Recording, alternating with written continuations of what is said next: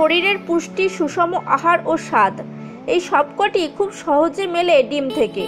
ডিম ভালোবাসেন না এমন মানুষ খুঁজে পাওয়া বেশ কঠিন।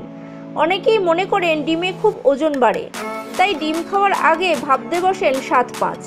কিন্তু চিকিৎসকদের মতে কুসুম বাদ দিয়ে খেলে ওজনে কোনো প্রভাবই ফেলে না ডিম। এদিকে ডিমের কুসুম অনেকেরই বেশ পছন্দের।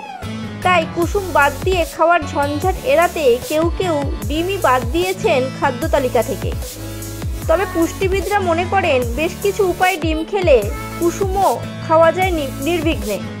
তাই মেদ নিয়ে চিন্তা ভুলে দেখে নিন কী কীভাবে ডিম খেলে ওজন তো বাড়বেই না, আবার কুসুম থেকে পাওয়া পুরো পুষ্টিগুণও শরীর পাবে।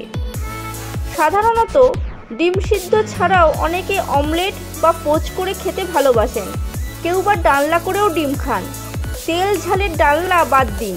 ভাজাভুজি এড়াতে পোচ বা অমলেটও বাদ যাক, বরং ডিম খান এই সব উপায়। স্যালাড। শশা সিদ্ধ করা গাজর, টমেটো, পেঁয়াজের স্যালাডের সঙ্গে মিশিয়ে দিন সিদ্ধ ডিমের কুচানো অংশ।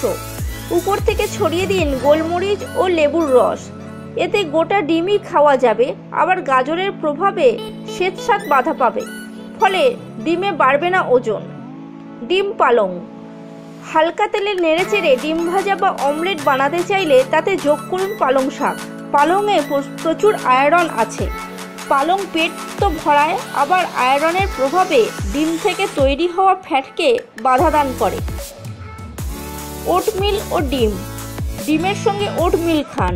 ওটমিলেও স্বেচ্ছার বাধা দেওয়ার মতো উপাদান থাকে। কাজেই ডিমের থেকে প্রাপ্য ফ্যাট শরীরে বসে বসে না সহজে। পাচনমূলক অ্যাসিড ক্ষরণও বাধা দেয় ওটমিল। তাই ওটমিল খেলে সহজে খিদেও পায় না।